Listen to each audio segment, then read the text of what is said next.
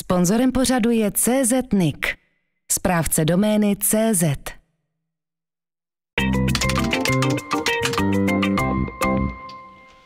Milátko, Ano, už kde máme izolepu? tam, kde posledních 30 let. Komoda druhý šuplátko. Jo, děkuju. Na co vůbec potřebuješ izolepu? Říkal si, že naplánuješ, kam pojedeme na ten výlet.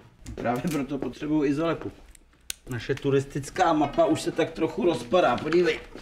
Trochu? Hm, neboj, bude jako nová. Kájo, Mhm. máme 21. století. No a? Papírové mapy už jsou pase. Dneska se používají mapy na internetu. Pojď se podívat. Fakt? Pojď. Jo. Hele. Na stránce s mapou si jednoduše napíšeš do vyhledávacího políčka, co hledáš, jo? Takže třeba ko, ko, ří, no. A mapa je tady. Ale takováhle mapa je mi k ničemu. Já potřebuju daleko podrobnější. U mapy na internetu jednoduše změníš měřítko.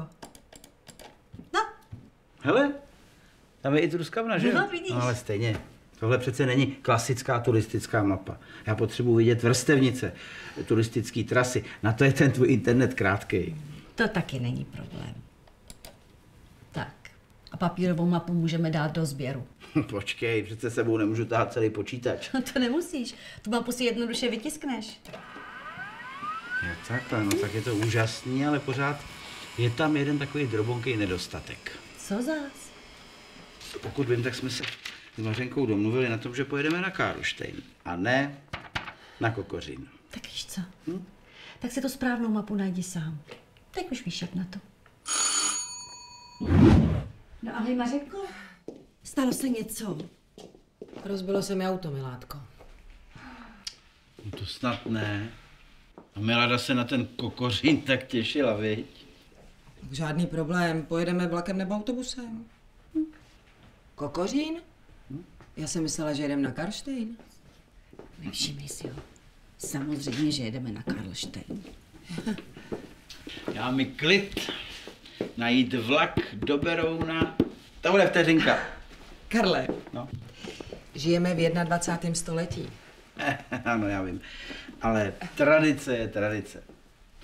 Udělat si píšťalku z vrbového proutí, rozdělat oheň křesáním, anebo umět hledat v jízdním řádu, to mě všechno naučil můj děda. Takže dámy, kde to máme? Tady, spoj číslo 171, výborně, tady. Jo, moment, tady je nějaká poznámečka. Mhm. Cože? Nějaký problém?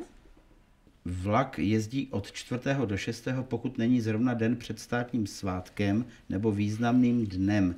Je-li den před státním svátkem nebo významným dnem, vlak jede pouze pokud je duben anebo přestupný rok. Tak to zní zajímavě. Za dědových časů byly ty jízdní řády nějak jednodušší. Prosím tě, tak už tu bychli vyhoď. Možnost najít spojení nabízejí i některé mapy. My ale radši použijeme webové stránky, které si na jízdní řád specializují. A jak to funguje? Jednoduše napíšeš, odkud pojedeme, kam. No, a ve vteřině ti to vyhledá nejbližší vlak. To je dobrý. No ale tohle jede už za čtvrt hodiny. A navíc hlavního nádraží, to nemáme šanci stihnout. Nevadí, těch spojů je tam samozřejmě víc, pojedeme tím dalším. No a jak vidíš, tak staví na Smíchovském nádraží, což je odsud kousek. Což o to praktický to je, no ale děda by to stejně rád neviděl. Počkej, já si to napíšu. Nic si nepíš, já ti to vytisknu. Fakt? No a rovnou nám najdu zpáteční vlak. Svačina je hotová. Jak jste na tom? Milátko, ty jsi věděla, že na internetu jsou jízdní řády? A kde si myslíš, že se na dveřích v předsíně vzali odjezdy tramvají? No vidíš? To mě nikdy nenapadlo.